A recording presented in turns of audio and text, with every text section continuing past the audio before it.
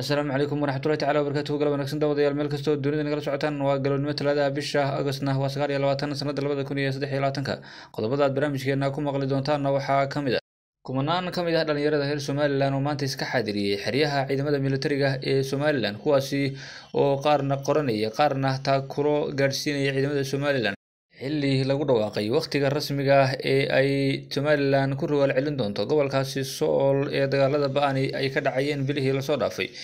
Iyo guud ahaan mudaharaadyo waaweyn oo ka dhacay magaalooyinka waaweyn ee somalilan iyo mudaharaadkii ugu saameynta badnaa oo ka dhacay gobolka awdal iyo magaalo madaxda boorama xogihii ugu dambeeya naga soo gaadhaya degmada og ayaan eegi doonaa dhaqdhaqaaqyada ciidamada somalilan oo la sii kordhiyey xilli madaxweynaha somalilan muuse biixi cabdi iyo weliba mas'uuliyiin sare oo ka tirsan somalilan ay gaadhi doonaan degmadaasi og.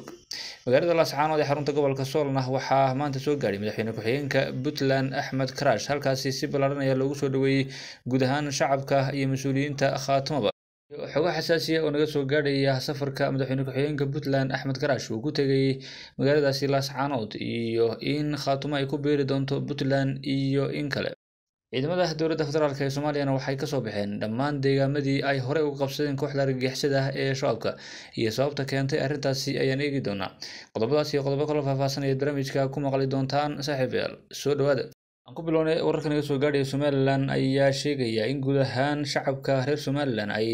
maanta u ahayd maalin ay isku soo baxyo waaweyn dhigayeen. Isku soo baxyada ayaa ka dhacay magaalooyinka hargeysa boorama iyo magaalooyin kale oo somalilan ah kuwaasi oo dad fara badan ay isku soo baxeen. Islamarkaana magaalada hargeysa ayaa dadkii ugu badnaa ay isugu soo baxeen madaxweyne ku-xigeenka somalilan cabdiraxmaan saylici ayaa dad fara badan kula hadlay garoonka kubadda cagta ee stadium hargeysa ee ku yaalla magaaladaasi hargeysa. Waxaana halkaasi uu ka sheegay in guud ahaan ciidamada somalilan ay garab taagan yihiin shacab iyo dowladba. Somalilan aanay marnabo guuldaraysan doonin oo guud ahaanba ciidamada somalilan ay mar kale dib ugu noqon doonaan gobolkaasi sool iyo xuduudihii guud ahaan somalilan ay horeyba u joogtay waxaa halkaasi ku sugnaa mas'uuliyiin kala duwan odayaasha dhaqanka iyo weliba dadweyne tiro badan oo guud ahaan sheegay inay garab taagan yihiin ciidamada somalilan oo shan iyo labaatankii bishan dhibaato weyn ay ka soo gaadhay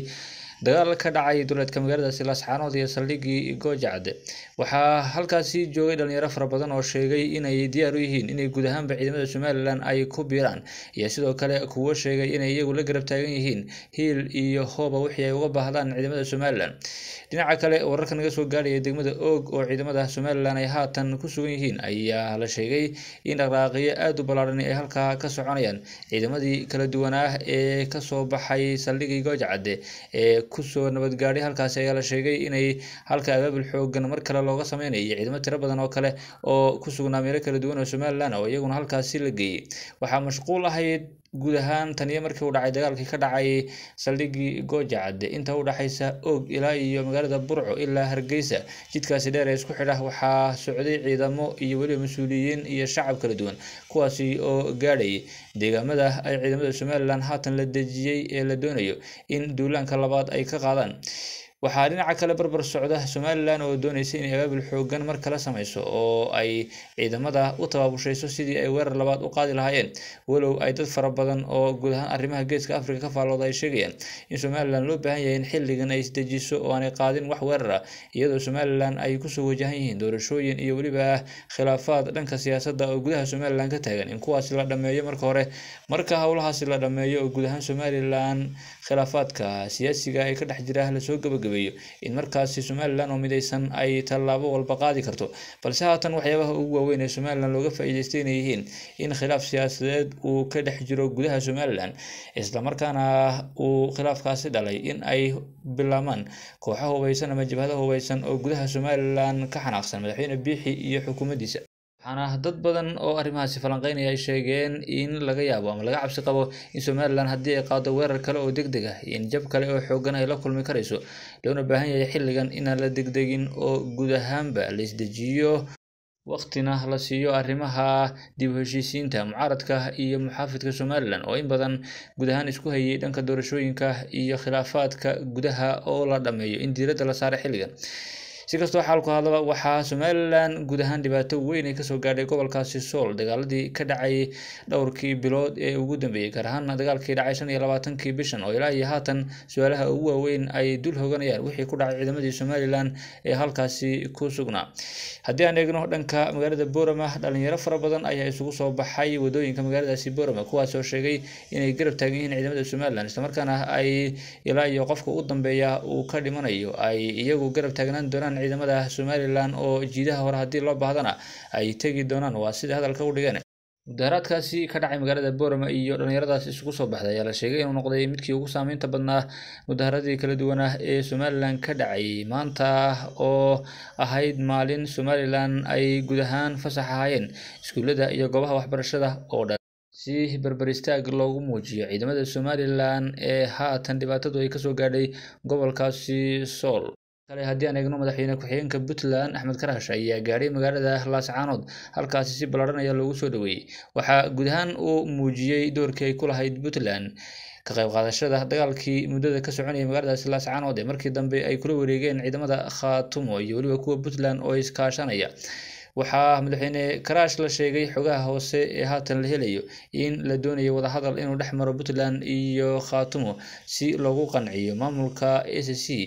in ay puntland wax la qaybsadaan ama guud ahaanba ay puntland ku biiraan. Walow mas'uuliyiinta ugu sarreysa ee khaatumo ay goor horeba diideen inay maamulkaasi puntland ku biiraan oo ay sheegeen inay noqonayaan maamul gooni u taagan. Waxbana aan la qaybsanayn puntland iyo maamul kale midna balse puntland ayaa la sheegay in ilaa iyo haatan ay isku taxallujinayso sidii ay ugu qancin lahayd khaatumo in guud ahaanba ay haatan wax la qaybsadaan puntland maadaama dowladdii federaalkeed ee soomaaliya ay ka dhaga xidhanayso inay maamul cusub u aqoonsato khaatumo. Waxaa dhinaca kale khaatumo laga rabaa inay buuxiyaan shuruudihii laba gobol iyo wax ka badan inkasta oo haatan ay sheegeen inay buuxin karayaan. Marka la eego gobolka sool oo ah gobol ballaadhan iyo weliba gobolka cayn ee buuhoodle oo isaguna gobol kale ah islamarkaana ay sidaasi ku noqon kara maamul buuxa oo dhammaystiran. Haddana dowladda federaalk ee soomaaliya ayaan ilaa iyo haatan sida xoguhu ay nagu soo gaadhayaan aan ku qanacsanayn in maamul halkaasi uu ka dhasho somalilan iyo puntland dhexdooda. Waxaana puntland arrimahaasi ay doonaysa inay uga faa'iideysato khaatumo magaalada laascaanoodna ay mar kale gacanteeda dib ugu soo laabato wax ka badan shan iyo toban sano oo magaaladaasi ay ka maqnayd. Kadib markii labadii kun iyo toddobadii ay ka saareen ciidamada somalilan maamulkii puntland ee halkaasi ka arriminayay si kasta uu xaalku hado madaxweyne ku-xigeenka puntland axmed karaash ayaa si ballaaran loogu soo dhaweeyey magaaladaasi laascaanood waxaana uu hambalyo u diray guud ahaan shacabka iyo ciidamada s c khaatumo kuwaasi oo sida uu sheegay guul muhiima ka gaadhay ciidamadii somalilan ee ku sugnaa gobolkaasi sool iyo gaar ahaan magaalada laascaanoodba shan iyo labaatankii bishan oo ay ka saareen magaalada laascaanood si rasmi ah. Waxaana dad fara badan ay ku sheegeen in door muhiim ay ka qaadatay puntland intii uu socday dagaalkii u dhexeeyey khaatumo iyo dadka deegaanka iyo weliba ciidamada somalilan ee ku sugnaa gobolkaasi sool gaar ahaana magaaladaasi laascaanood waxaa laakiin weli lagu qancin layahay khaatumo iyo maamulkeeda in ay ku qancaan in puntland ay ku biiraan. Sidoo kale waxay u muuqataa in xurguf ay ka dhexayso inta badan maamulka khaatumo iyo weliba madaxweynaha puntland siciid cabdulaahi deni waxaana qaar ka mid a dadka reer khaatumo ay ku eedeeyaanba in siciid deni uuna raalli ka ahayn in somalilan laga saaro magaaladaasi laascaanood waa sida iyagu hadalka u dhigayaan. Akhyaarta sharafta leh wada nagala socoto wataniyo kulanti dambe nabadgelyo